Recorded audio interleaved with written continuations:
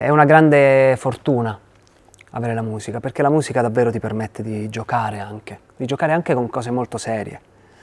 di giocare con, con cose che magari ti hanno fatto del male, e, e che hanno, ti hanno portato sofferenze in passato,